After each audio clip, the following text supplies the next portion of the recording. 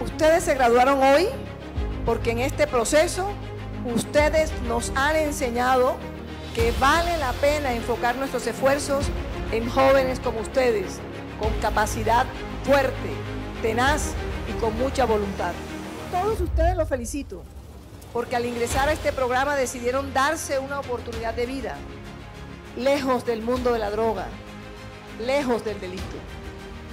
El Ministerio de Justicia y del Derecho, en coordinación con las entidades acá presentes, créanmelo, seguirán trabajando en este tipo de iniciativas. Seguirán esperando que el consumo de drogas se aborde desde un enfoque de salud pública.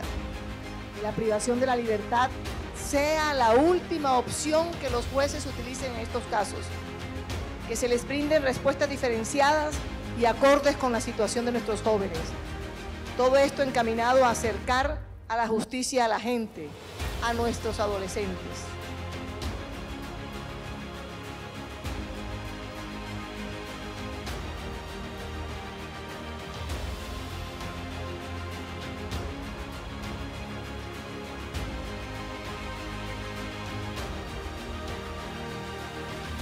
La justicia es de todos. Ministerio de Justicia y del Derecho.